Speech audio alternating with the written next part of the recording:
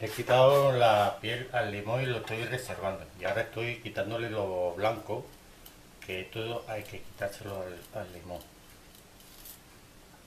En este caso a un limón gordo, a un limón silvestre. Y, sale bastante bien.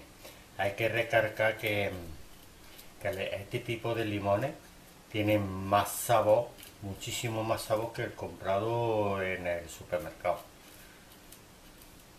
un limón de estos, además de tener mucho más jugo, eh, tiene más sabor.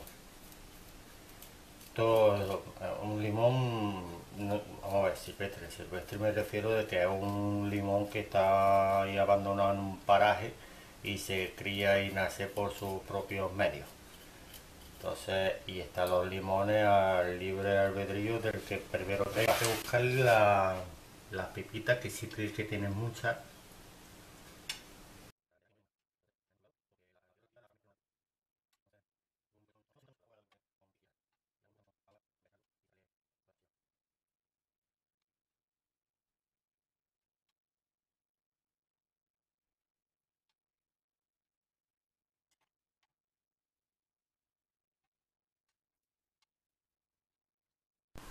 Bueno, aquí tengo el limón con las cáscaras.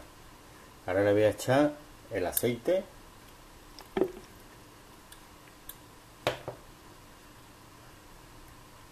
Los huevos.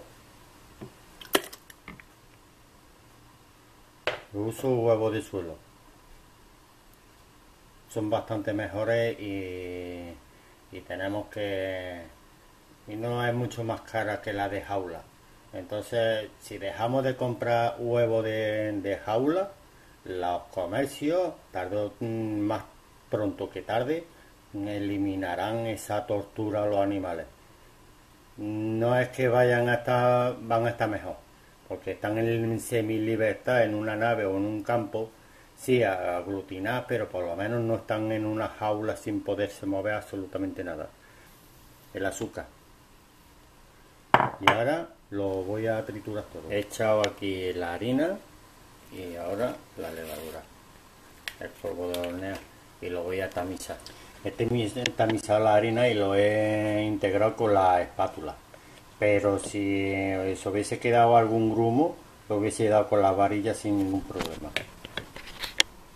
Ya lo tengo puesto.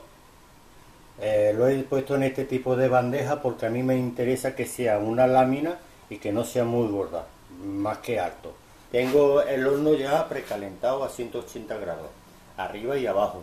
Ahora cuando coloque el bizcocho, lo pondré solamente temperatura abajo y le daré unos 50 minutos poco más o menos. Ya depende de cada horno. Hay que tenerlo controlándolo.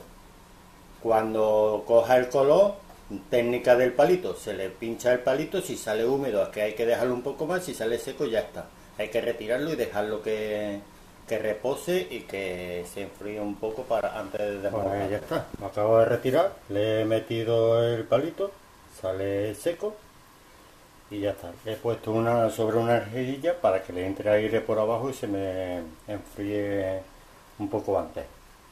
Y nada más, terminado.